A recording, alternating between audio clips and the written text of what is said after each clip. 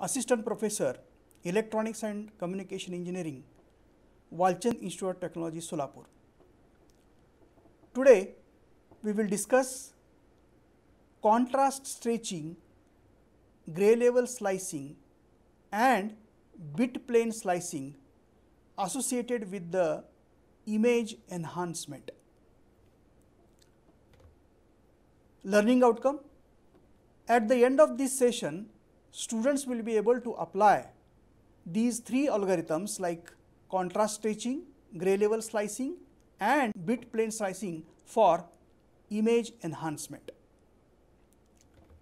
Contents In this session, we will discuss these three algorithms which are used for image enhancement that is uh, contrast stretching, gray level slicing and bit plane slicing. Let us see what is contrast stretching.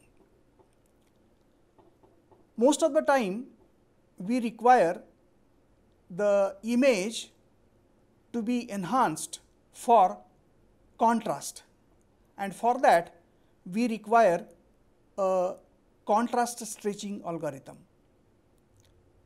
Rather than using a well defined mathematical function for the contrast enhancement, we can use arbitrary user defined transforms.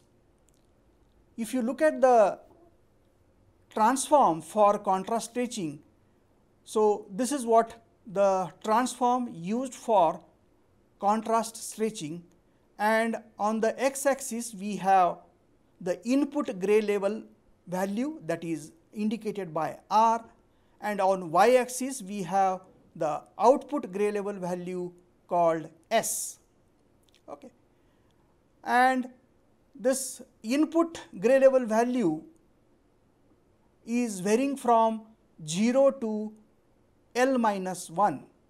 Okay. So, if for example, uh, we consider a pixel in an image is represented by 8 bits, then this L minus 1 value be 255 because 2 raised to 8 will be 256, but since we are starting from 0, it will be uh, this L minus 1 value will be 255.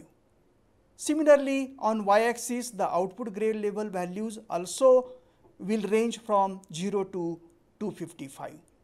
And if you look at the transform we observe here is the input pixels within this range that is 0 to uh, this R1 and S1, the input pixels are enhanced uh, very less because the slope of this line as compared to the line between point R1 S1 and R2 S2, the slope of this line is more than this line. So, the input pixels within this range will be uh, enhanced less.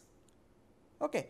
So, uh, and the input pixel within this range of the input that is R1 S1 and R2 S2 within these two uh, range the input pixels are enhanced more so that the contrast of the image will be improved. So, this is what the T of R that means uh, transform on the input function that is R where R is a input pixel value.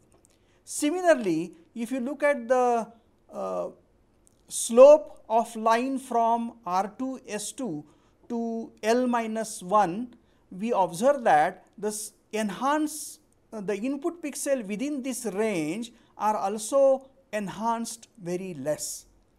So, what we do is here we stretch the contrast of the pixels within this range. So, this is the input image. If you look at the image has very low contrast and so if you apply this uh, contrast stretching algorithm uh, or we can say this uh, transform we can say on this input image we get the output image uh, like this.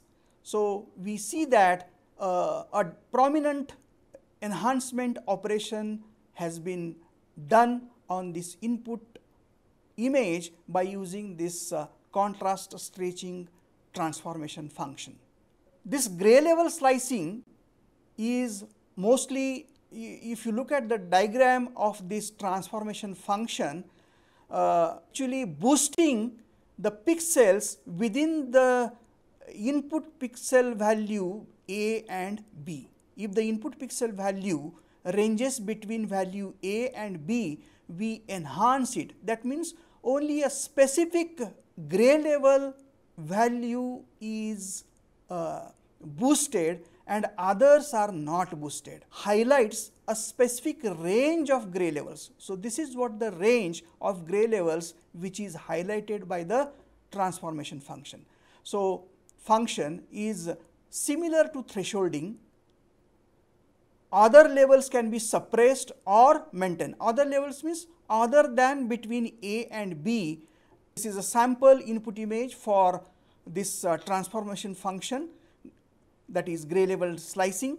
This is the input uh, image and we see that the result of applying this transformation function that is gray level slicing on the input image is like this. Okay. So, the user is interested in highlighting only this these gray levels okay, by using this gray level slicing algorithm. Let us have a question. What is the difference between contrast stretching and gray level slicing? You pause the video and answer the question. So, the difference between contrast stretching and the gray level slicing is a very uh, specific that the gray level slicing highlights only some portion of the image whereas contrast stretching uh, uh, stretches the contrast of whole image. That last uh, algorithm for image enhancement that is bit plane slicing for example, you assume that a pixel in an input image is represented by 8 bits. Okay. What, what is here done is least significant bit that is bit 0 of all the pixels is collected together and presented in a bit plane 0.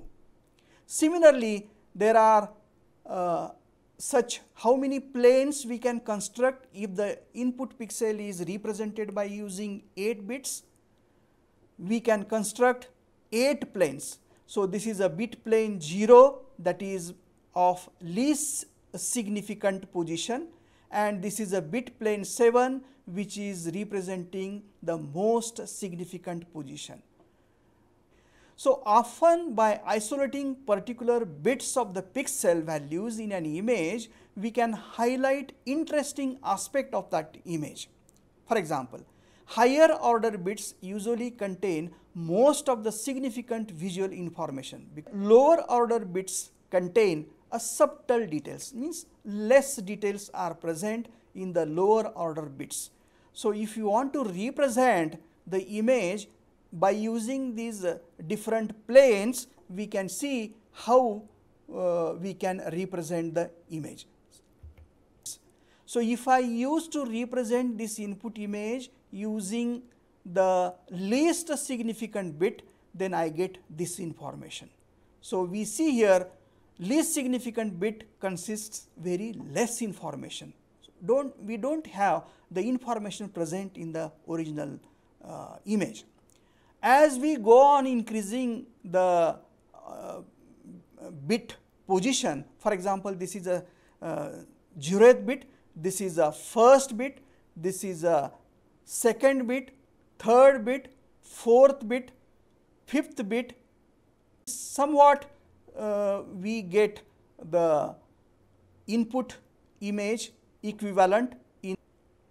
So, this way we can represent the input image by using a bit planes, different bit planes. Even we can combine, for example, if, if you combine this uh, uh, uh, 2 and 3 bits together, we will get more appealing image because this contains more information than this and if I combine these two, we will get a good image. So, this is what the bit plane slicing. So, I used this uh, book textbook for preparing these slides. So, the digital image processing by Rafael C. Gonzalez and Richard E. Woods by Tata McGraw-Hill Education. Thank you very much.